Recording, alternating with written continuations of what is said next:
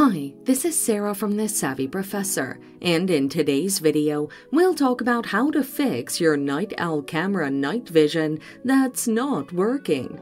Watch the video until the end to learn how to do this and more.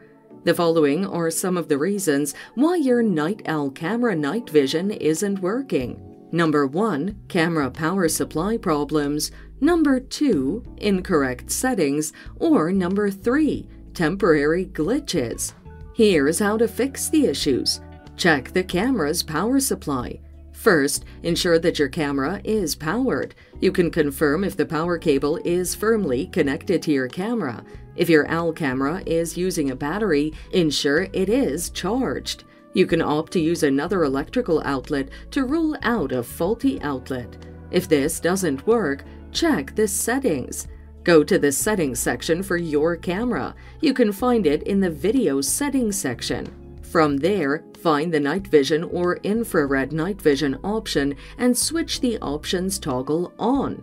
If this doesn't work, restart your camera. To do this, find and push the reset button for at least 10 seconds. You can find the button on the back of your OWL camera.